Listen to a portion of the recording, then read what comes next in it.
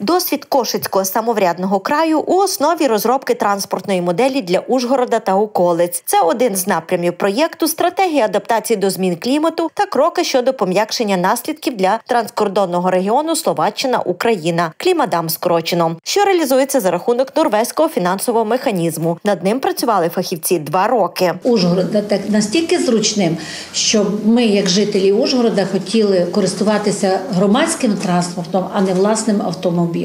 Розробили, е, користуючись для прикладу таки, такою самою стратегією, яка була в Кошицькому самоврядному краї.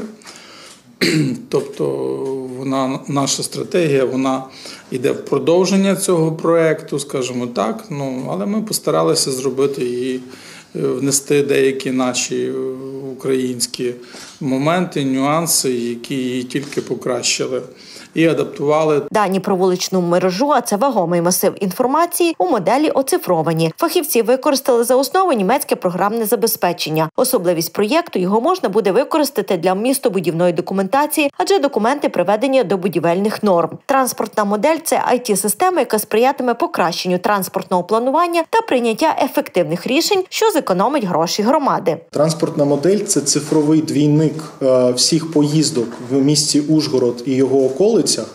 Тобто це такий фотознімок, якщо хочете, е, того, що відбувається в поїздках пасажирів. Це робиться для того, щоб зробити таку, такий цифровий двійник, для того, щоб можна було потім е, на ньому відкатувати будь-які гіпотези і ідеї. Тобто, перш ніж щось впровадити, новий маршрут, зробити платне паркування.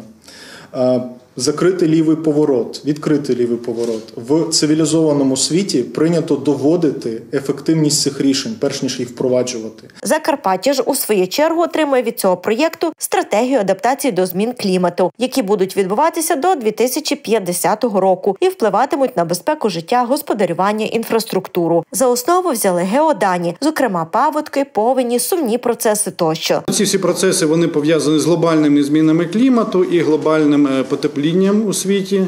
Відповідно, е, виявлені тренди у зміні клімату вказують на те, що е, на період до 2050 року е, буде підвищення. Температур, збільшення в принципі базових енергетичних показників клімату і зміна відповідно кількості опадів для регіону.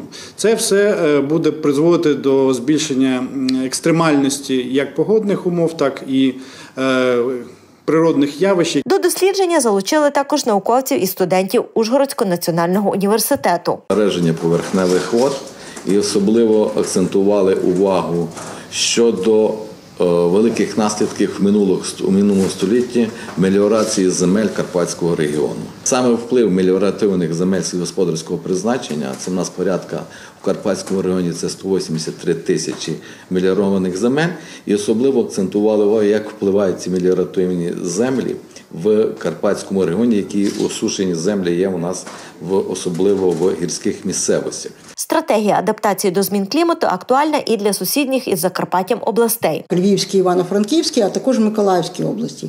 Ці три пілотні області були вибрані раніше. В нас в цьому проєкті це проєкт технічної допомоги, бенефіціар Міністерства захисту довкілля та природних ресурсів України. І оскільки міністерство взагалі відповідає за кліматичну політику, то вони звичайно хочуть, щоб ці стратегії адаптації до зміни клімату в різних областях вони якось е, ну, якби співпадали, чи принаймні якось були при- при- приблизно однаково написані. Звичайно, це дуже складно зробити Результати реалізації проєкту та пропозиції для Закарпаття презентують на заключній конференції в Ужгородському національному університеті.